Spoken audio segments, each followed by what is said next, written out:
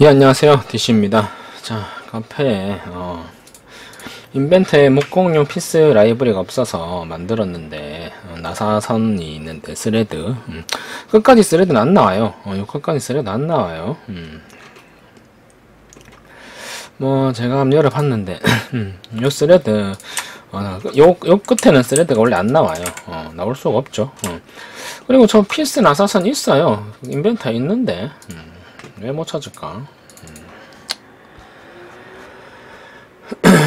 자, 배치에서 컨텐츠 배치 가본 다음에 뭐 보통 한국이니까 뭐 KSB 검색하면 되겠죠. 음.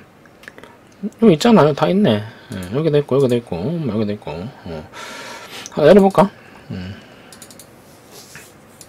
이건 뭐 길이죠. 음. 뭐 길이 아무거나 내려볼게요. 얘네들도 thread 끝까지 안 들어가지죠. 어. 이래 돼 있지. 음.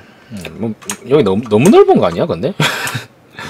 나사 나사 헛돌겠는데 이렇게 되면 드라이브가 안 박힐 것 같은데 예, 이래 돼 있어야지 안쪽에 예, 이런 식으로 모델링이랑 부품이 돼 있어야죠 음, 인벤터 거 그대로 쓰면 돼요 인벤터 거 그대로 쓰면 되고 음, 어, 혹시나 뭐 이런 어, 목공용 피스 뭐 이제 뭐 회사에 들어갔는데 이거를 뭐 이렇게 이미지 이제로 설명하거나 뭐 이렇게 진짜 모델링 된 게 필요하다 어, 이런 식으로 모델링 된 이제 렌더링 걸어서 이거를 이거는 사진하고 다 렌더링 건 거지 음. 어.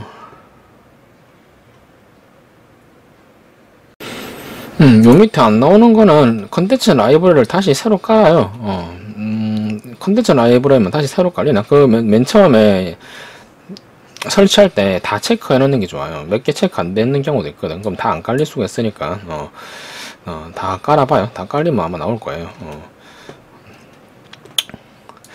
백색 재질은, 재질은 그냥 재질 비슷한 색깔 아무거나 넣으면, 넣으면 돼. 어.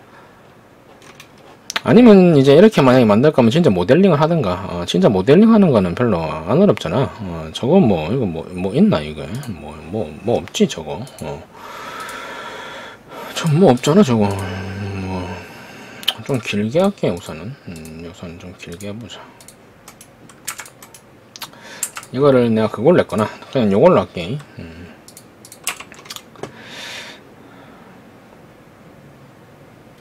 선 얘를 좀 길게 해볼게. 음, 잘 보여야 되니까. 음. 뭐 저런 모델링이 뭐 쉽지. 뭐 이거 스케치 다 대충 뭐 이렇게 뭐 스케치하고 여기서 뭐 저 나사 원래 규격 있겠죠. 내가 규격을 모르니까 우선은 저 음, 이렇게 좀 사각형 이 정도? 이 정도? 음, 원래 규격이 있으면 규격 그대로 넣어주면 되겠죠. 어. 이래가지고 뭐 수업이 아니라 코일로 돌리면 되겠지? 예, 코일로 어, 축은 축은? X축이겠네? 예. 뭐 대충 모양 비슷하게 해볼게요. 어, 피치 높이 안에 회전미 높이라 할게 높이는 한뭐 45라 치고 어, 45는 넘네. 음, 40이라 치자. 40이라 치고 회전은 한 10바퀴 15, 한 18바퀴 한 다음에 확인 누르면 음, 뭐 이런 식으로 모델링 되죠 음, 너무 크네 근데 네, thread는 찍어보자 음, 뭐 이런 식으로 나오죠 어. 이러면 뭐 옆에 얘 단면이랑 똑같지 않나 음. 뭐 이렇게 똑같죠. 얘는 thread thread를 조금 더 덜 덜 줘야겠네. 위로 더 올라가려면 뭐 이런 식으로. 어. 뭐 이렇게 해서 필요에 따라서 모델링해서 나머지는 뭐 수정해서 쓰면 되겠지. 음, 너무 크네 근데. 아이, 너무 크게 했네. 음, 뭐 이런 식으로 하면 돼요. 뭐 스케치는 뭐 좀 작게 하면 되고 너무 크게 했다 그래서. 음.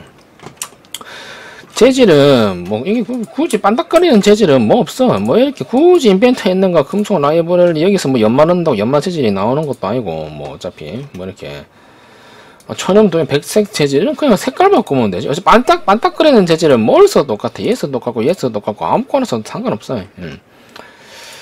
뭐 이걸로 해볼까? 음, 뭐 그냥 크롬 한번 써볼게요. 색깔은 아무 의미가 없어요. 이거 여기서 한 여기서 고르는 이 뭐 인벤트 라이브 재질은 이거 솔직히 반딱거리는 재질은 뭘 쓰든 똑같아요. 뭘 쓰든 똑같아. 음, 보통 크롬 연마가 뭐 이렇게 좋으니까. 음. 왜 들어갔죠? 얘를 만약에 뭐 바꾸고 싶다. 음. 아 그러면 여기 색조 있죠? 어. 색조에서 체크해주면 뭐 저 색깔이 나오겠지. 예. 뭐 회색깔 하면 얘가 이렇게 뭐 회색깔 톤으로 이렇게 바뀌고 뭐 금, 금색깔이다. 어, 이렇게 뭐 금색깔이다. 뭐 이런 색깔이다. 그럼 이런 색깔로 바뀌죠. 그렇기 때문에 여기서 반짝거리는 재질 어차피 색깔만 주면 되기 때문에 뭐 이걸 쓰든 저걸 쓰든 뭐 반연말을 쓰든 뭐 검은색을 쓰든 파란색을 쓰든 어차피 다 똑같아요. 뭐 색깔만 바꾸면 되는데 뭐 음, 여기서 뭐 음, 그런 건 필요 없어요. 뭐 이 색깔 넣고 싶으면 뭐 저랑 비슷한 색깔 뭐 이렇게 뭐 이, 이건가 이렇게 뭐 비슷한 색깔 한 개 넣어주면 되잖아. 좀 어둡네. 여기, 여기 색, 색깔이 많이 만들면 사용사 색상정이 가, 가지고 이걸 좀 위로 넓혀주면 좀 밝아지겠죠. 이런 식으로 음, 됐죠? 음. 이렇게 해서 뭐 필요한 색깔 뭐 쓰면 돼요. 음, 색깔은 뭐 저기서 알아서 바꾸면 되니까. 음. 아시겠죠? 어, 이렇게 해서 요거는 모델링을 한번 해보거나 아니면 그냥 인벤트 라이브러리 있는 거 다시 깐 다음에 그거 쓰든가 하시면 될 것 같네요. 아시겠죠? 음, 이렇게 해서 한번 해보세요.